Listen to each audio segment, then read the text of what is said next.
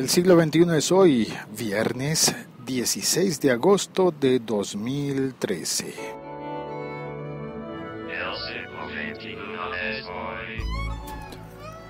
Es la fecha en la que grabo este episodio podcast que va a estar dedicado a hablar del, del Campus Party que se celebrará en Medellín.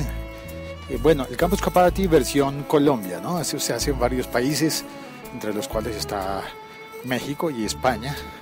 Y ya esta será la sexta edición del Campus Party en Colombia. Esta vez va a ser en Medellín, la ciudad de la innovación. Una ciudad que está haciendo una apuesta muy importante por las nuevas tecnologías y por eh, la importancia de la informática en el sector económico de la ciudad, en el impulso de la ciudad. Todo comenzó hace muchos años con un edificio inteligente, emblema del, del ayuntamiento, eh, es decir, del, del municipio, eh, de la ciudad, del gobierno de la ciudad. Y ahora va en, un plan bien importante para poner eh, oficinas de compañías transnacionales de, de, tecnología de todo el mundo. Van a, están viendo, poniendo sus ojos en Medellín y es una ciudad que va muy, muy, muy bien en ese aspecto. Dentro de Colombia, por supuesto, podríamos decir que es la líder en tecnología. Y bueno, va a ser un, un, evento muy interesante y se anunciaron ya los uh, tres primeros de los expositores magistrales eh, que van a ser Bruce Dickinson, sí, sí, el piloto y cantante de Iron Maiden, sí, va a estar allí haciendo su exposición, su charla. Bruce Dickinson también va a estar Alex Torrenegra, que es un colombiano que, eh, que trabaja en los Estados Unidos. Eh, con, varias startups, entre las cuales está Voice 123, un portal para voiceovers que le funciona muy bien eh, en, en, los Estados Unidos y en todo el mundo de habla inglesa. Eh, Voice 123 y, y, y ese, ese portal de Voice 123 tiene un hijo nuevo, pequeño, que supongo que apunta a ser más grande, a, convertirse en el más grande, que será Voice Bunny, eh, la voz, voz conejo, ¿no? Voice Bunny. Eh, supongo que es un juego de palabras eh, recordando al personaje de Warner Bros., el conejo de la suerte. Pues, y Voice Money está asociada con Spreaker, así que si usted está escuchando este podcast en, en esta plataforma, si usted tiene una cuenta en Spreaker y, y tal vez le hayan ofrecido con, eh, eh, un voiceover, una, una, voz, para que haga su, su, la introducción a su podcast. Esas eh, grabaciones de voz las hacen eh, a través, las hace Voice Bunny a través, perdón, las hace Spreaker a través de Voice Bunny, un emprendimiento de Alex Torrenegra.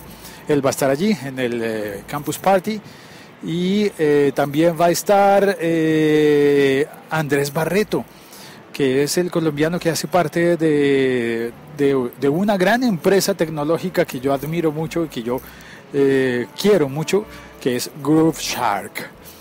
Eh, si bien ha sido un poco la oveja negra de las plataformas de, de, de, escucha de música online, de compartir canciones online, oveja negra porque hay muchas eh, compañías disqueras que, que, le han hecho la guerra, Apple le ha hecho la guerra, no permite que su, que su, que su aplicación esté disponible en el, Apple, en el App Store. Eh, con Google sí se puede, con, es decir, con Android sí se puede y con Apple pues ellos tienen la aplicación pero solamente corre en los sistemas jailbreak y, y bueno, hay muchos, eh, muchas restricciones pero son más del tipo del tipo de industria disquera, una guerra de la industria disquera por eh, mantener el control de las músicas en el mundo y Groove Shark, a mi modo de ver, es el abanderado de las músicas son de la gente. No estoy con esto queriendo decir que no se deban pagar los derechos de autor, pero sí quiero decir que Groove Shark me permite a mí encontrar músicas de todo tipo de músicas, porque los mismos autores pueden subirlas, pueden subir sus canciones, subir su música. Eso es una cosa maravillosa que no tienen ni Spotify, ni Deezer, ni RDO, ni ninguna de esas otras plataformas. Eh, Last.fm lo tenía, pero Last.fm está restringida actualmente.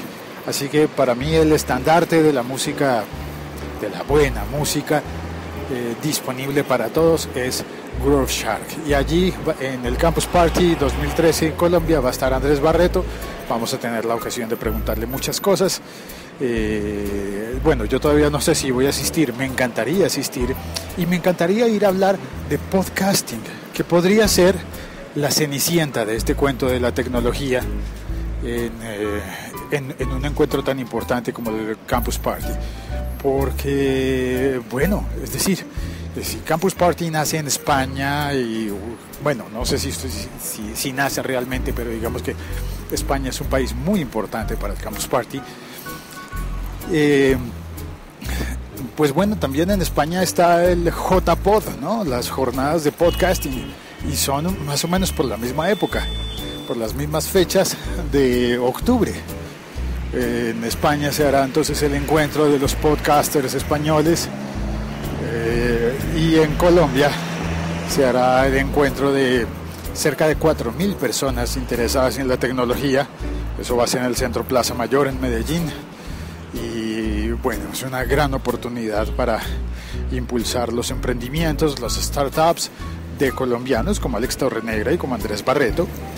Eh, del británico también, eh, por supuesto, pues Bruce Dickinson va a ser, eh, yo creo que la vedette. Pero en realidad, siendo honestos, más por su, por su papel de cantante de Iron Maiden, por su, incluso por su particular por su particular eh, profesión de piloto, eh, cosas que hacen, eh, que hacen que sea un personaje muy atractivo. pero bueno, pero ¿quién va a hablar de podcasting?